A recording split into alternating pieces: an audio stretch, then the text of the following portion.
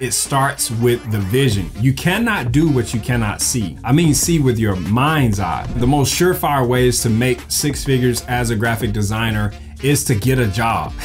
For me, it was like mind blowing. Like, I'm a kid from the trailer parks of Mississippi, and now I got one of the largest snack companies in the world asking me to stay to work for them and tell how many hours I can give them a week. It's all about relationships. You got to build those. You're not gonna make six figures if you don't build relationships, period, hands down. Foot in the door projects will help you get to that six figure mark by building those relationships.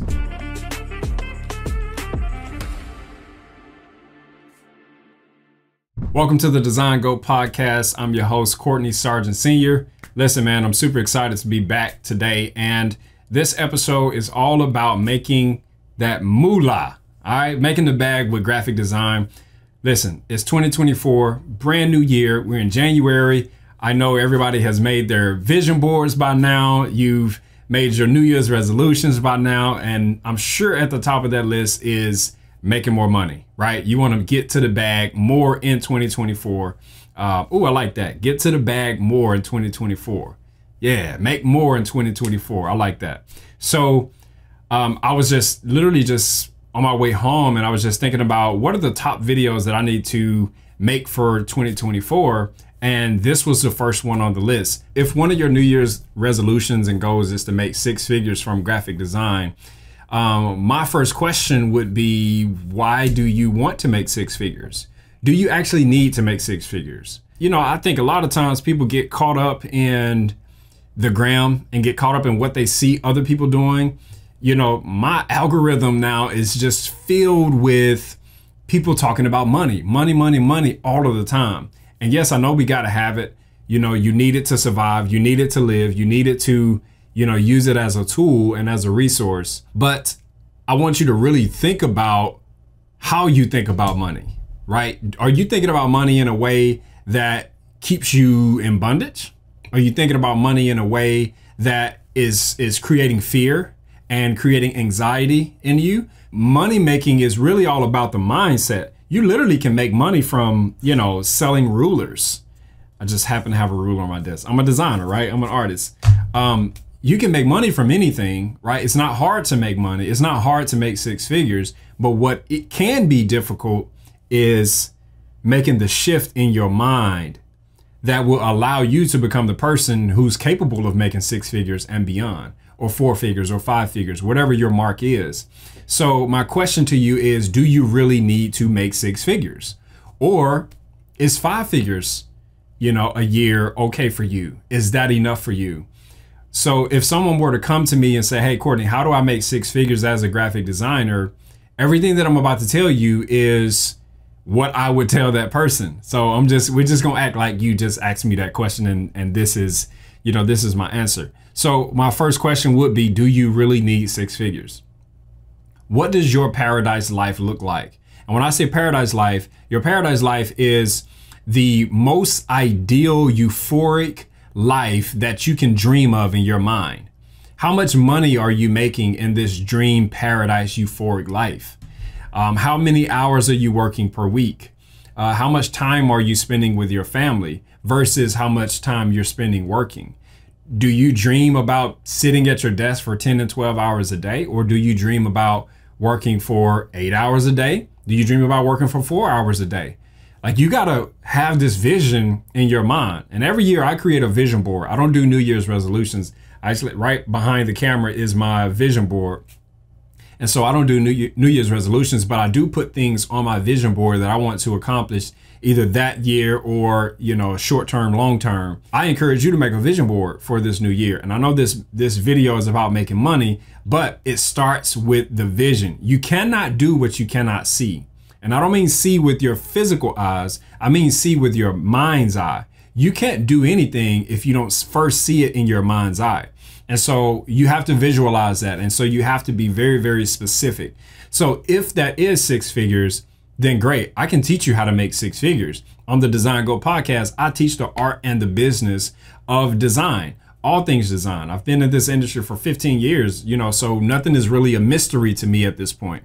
And so I can teach you that. But what is a lot of times what's hard to teach is the mental part. And so you got to get the mental part right. And sometimes you know, you got to go back and and reevaluate your relationship with money as well. So uh, I'll talk about that in, in another video because that's very, very applicable to making six figures, right? It's easy to make money, but sometimes it's hard to lay new pipes in your, you know, in your spiritual being. You know what I'm saying? I won't get too deep on you, but when it when it comes to making six figures as a graphic designer, there are a lot of things that you can actually do. So one of the the easiest, I would say, and the most surefire ways to make six figures as a graphic designer is to get a job, to get a corporate job. Now, listen, I know that we live in this this entrepreneur society, this hustle culture, this freelance culture, which I love it. It's really great. Now, I don't love the hustle culture, but I do love the entrepreneurial culture.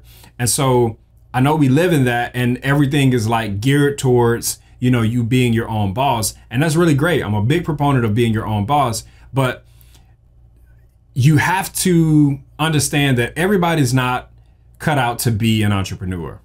That's just reality of it. Like the bosses have to have employees. And if you're an employee, that's okay. It is okay to be an employee. Like don't allow society and other people to pressure you into thinking that you have to be an entrepreneur because you don't. You can get a job. Listen, the median graphic designer job pays $67,000 a year. That's a lot of money especially like if you're in your 20s, your early 30s, like that is good money. Like that's the middle of the road. Now, I live in Texas, and of course, it depends on you know where you live. Today, I live in Texas. Now, I did live in Mississippi. That's where I was born and raised. And to tell you just a little bit about my story, um, my first graphic designer job really wasn't a job. It was kind of like an internship. You know, basically it was for my church. And this is actually how I got started. I got started as a designer doing things for my church. And that was my first quote unquote job. I didn't get paid for it, but that was my job. Um, I was a graphic designer at church. Um, the tech guy at the church was like, Hey, you know, we need this, you know, can you help out? And I'm like, Hey, I would love to help out. Please let me help out. Like, teach me how to do this. And so he gave me a free trial copy of Adobe Dreamweaver and Adobe Photoshop. And I got bit by the bug and I've been in it ever since. And it's been almost 15 years since then. And so that's how I got started in graphic design. And I started my first business also in 2009. It was called Dominion Artistry.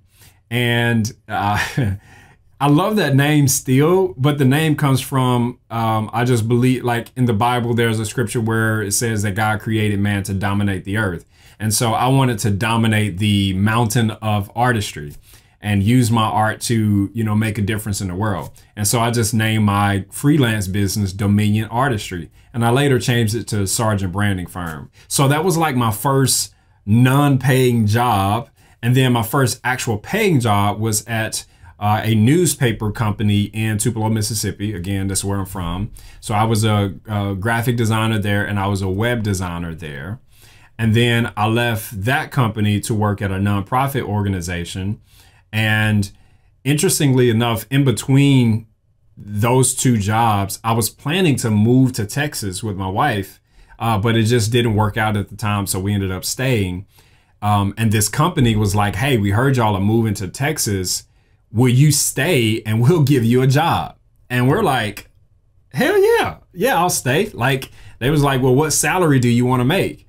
And at the time, I think it was 65,000 a year. So this was in, let's see, married 2009. So this was around 2012, actually. It was around 2012, 2013. We both started working at this nonprofit organization. I came on as a graphic designer. My wife came on as a radio producer because um, the nonprofit organization had an arm, like a radio arm. And so she was a producer. I was a designer, worked in a marketing department, designed graphics for the radio shows and stuff. And then I eventually got on radio and I was on live radio for about two and a half years. And then in 2016, we moved from Mississippi to Texas. And then in Texas, I started working at like just different temp companies Creative Circle was the agency that I worked through, and I would they just placed me at different corporations as a graphic designer, visual designer, web designer. So I finally landed at a tech company Um, and that was a really, really great job and a great position. And by that time, I think my salary was, I think it was 70,000. And I love that job. I was a creative director there. So like a graphic designer, but then I had other people underneath me. And so from that company, I got laid off four days after my daughter was born in 2017. And then from there, I went full time entrepreneurship for a stint. Because, like, at the time, this was when Hurricane Harvey hit the coast in Texas and a lot of companies shut down and it was it was a disaster. And so they're like, "Hey, we got to let you guys go because, you know, our business has taken a hit." And so you know, I'm in the boardroom, like kind of smiling, and my boss is sitting next to me and she's like crying her eyes out. But I'm just sitting up there, like smiling, like in my mind, I'm thinking, this is my chance. This is my chance, my opportunity to go full time graphic designer. So this will be the second time that I will be full time because I was full time at for a short stint in Mississippi. And so I went full time graphic designer, web designer in my own business, Sargent Branding Firm. That was the name of it at the time and still the name of it. And I went real strong for like a year, I would say, a year and a half maybe, and I got burned out. I got really, really burned out. I got frustrated because my business wasn't progressing the way I wanted it to. And so I decided, you know what, forget this. I'm going back to corporate America. So I got a job at a real estate company in corporate America. Um, I worked there as a graphic designer under actually one of the best bosses I've ever had. Her name is Nikki. Shout out to Nikki if you see this. Our boss was just such a jerk. I hated the job. He made it so unbearable that I actually left. And I quit that job and I went to work at Frito Lay, which was the last company that I worked for before uh, going full time entrepreneurship.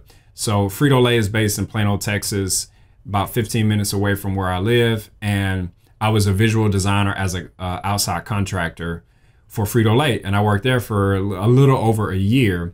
I just made my mark in that company so much and in that department that they were like, "Hey, we don't want you to leave," because I told them like, "Hey, I." You know, I got this other business. I have my freelance and it's really picking up. And, you know, I'm feeling like it's time for me to kind of branch out on my own again and they're like, hey, we love working with you. We love having you on the team. Will you stay and just tell us how many hours per week you can give us?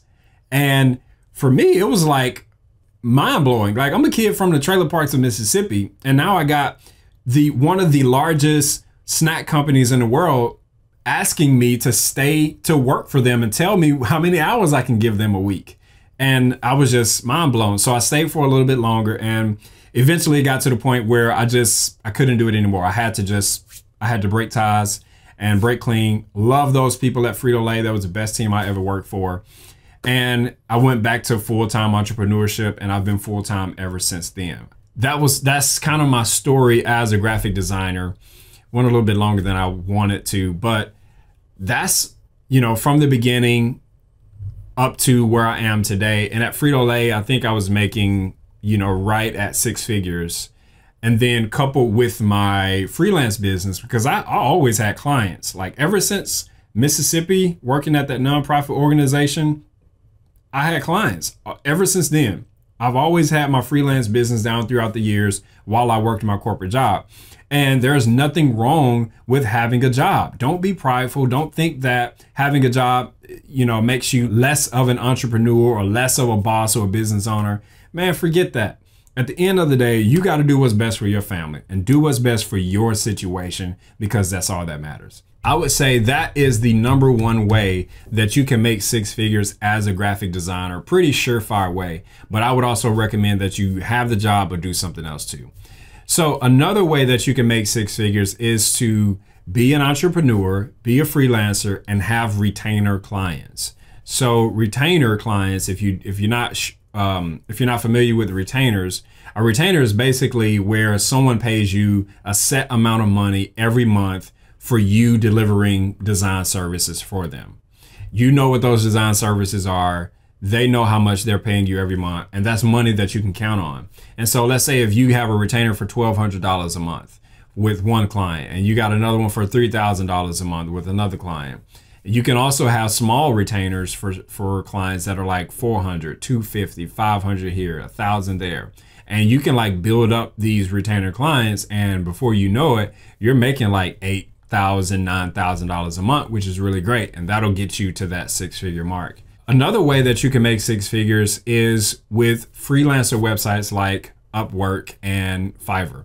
Now, I'm not really a big fan of doing this because this is really a hustle. Like it, it takes a special type of person to be able to get on Upwork and Fiverr and apply to bids. Well, you apply to bids on Upwork and it takes a really special type of grind and hustle to be able to get on Upwork every day to, you know, to go out there and get after the jobs. But that's, you know, as an entrepreneur, that's what it takes. Like it takes that type of person. And again, everybody's not built for this. Everybody's not made to be an entrepreneur. Everyone's not made to be a freelancer, and it's okay if you're not.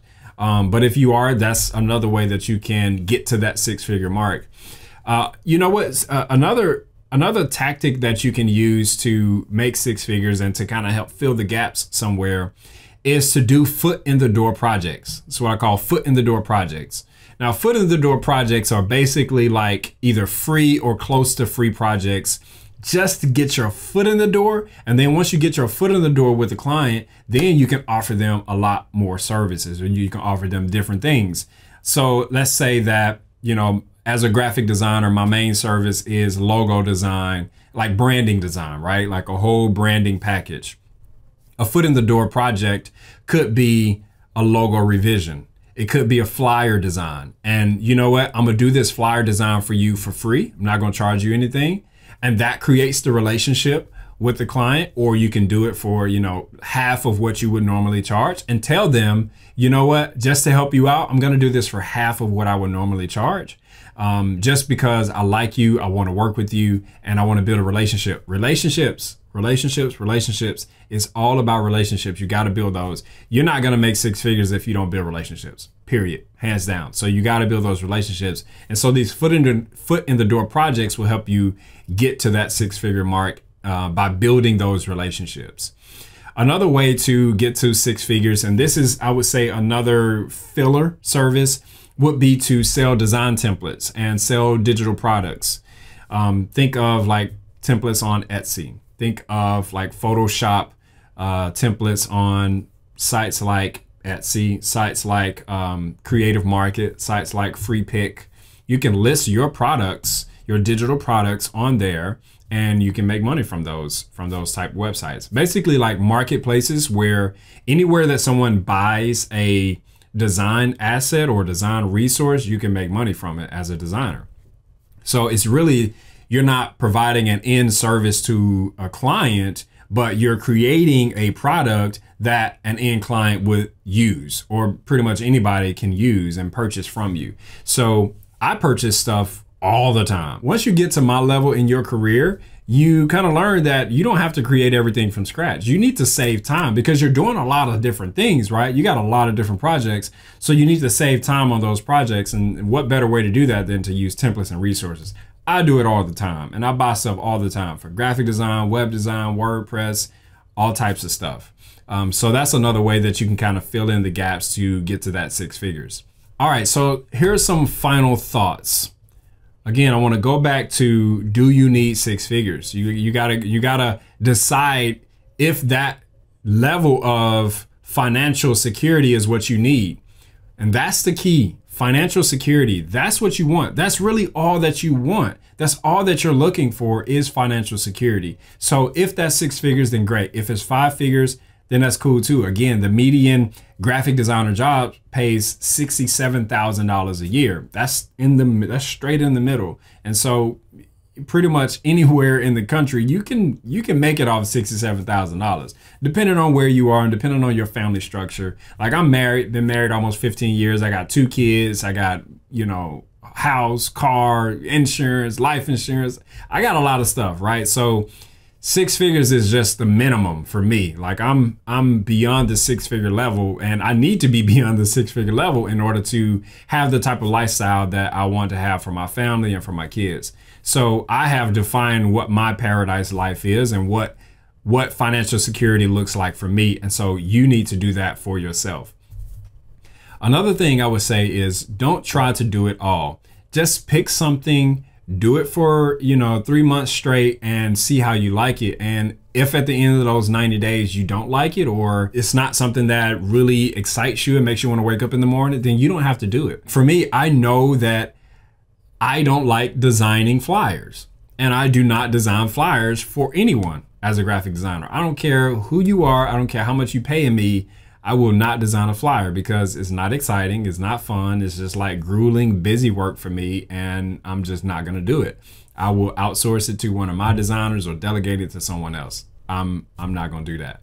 Um, and I learned that. So now I stick to my niche, my niche, niche, however you say the word. I stick to that. I stick to what I know and um, you know what I'm saying? I just I just move forward in that and move forward in confidence because I know that I'm a goat and I know that I can design anything, but being a goat means that you know who you are and you're confident in that and you're going to stay in your lane and you're going to dominate that lane and be the greatest at what you do. And the last thing I would say, just a little tidbit, is to make sure you post your work on social media. Listen, you're not going to get to six figures if you're not visible. If people don't know you and if people don't uh, be able to connect with you and see your work, if you don't have a personal brand, you're not going to make six figures. If you're not promoting yourself on social media, you're not going to make six figures. This is coming from someone who makes multiple six figures a year. And I'm telling you what it requires. And so you have to be on social media. You don't have to plaster your face everywhere, but you do need to put your work out there so that people can see and people know who you are and they can connect with you. So that is how you make six figures a year. That's certainly not all of the ways that can add up to make those six figures, but I hope that this video was informative for you. I hope that you was able to pick up uh, a few things here and there that'll help you and to motivate and encourage you to, you know what I'm saying, just get to that next level. And, you know, the, the very, very last thing I'll say is you have to believe. You have to believe in yourself. And if you're searching on YouTube and searching on Quora and, you know, Reddit, how to make six figures, you have to believe that you can make six figures. You have to believe that you're worthy of earning six figures a year. You have to believe that it's possible for you. And anything that you believe, will be. Just remember that anything you believe will be. If you believe it's difficult to make six figures, then guess what? It's going to be difficult for you to make six figures. But if you believe that, oh, man, I can do this. This is easy to do. I can accomplish this. It may take me becoming a different person, but I can do it. Then guess what? That's your reality. And that's what it's going to be. Anything you believe will be. All right. So that's all. If you got something out of it, leave a comment below. If you have a question about something, leave a comment below, and I'm more than happy to, um, you know, to chop it up with you in the comments and to provide more information. What other topics would you like me to cover on the Design GOAT podcast? Please let me know. All right, until next time, please like the video if it was helpful. Subscribe to the channel and the podcast if you want more content like this. And let's make it better by going up together. Peace.